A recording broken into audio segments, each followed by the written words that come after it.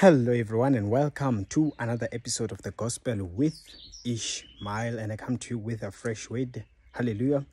I don't know exactly whom this message will speak to, but there is a message for you in the name of Jesus Christ. If it resonates with you and you feel like it's saying something to you, then it is definitely yours. Hallelujah.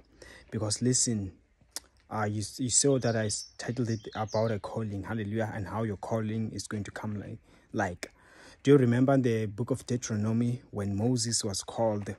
He was minding his own business. He was busy doing what he does daily. Then he just saw a burning bush. And the rest was history. Hallelujah. God started speaking to him.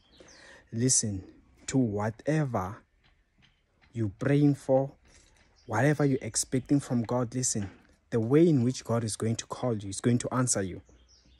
It will be in a manner where you are relaxed it will be in a manner where you're not expecting anything, you're minding your business. You will see God will talk to you surprisingly in a major way. Hallelujah.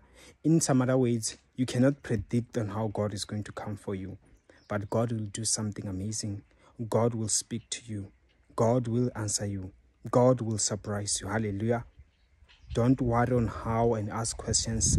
In the right time, God will speak to you. The Bible didn't record anything about God ever speaking to Moses before. No, we only started to know that God spoke to Moses during the burning bush. And even to you, don't worry about the signs right now. You might not get any signs, but out of the blue, God will speak to you.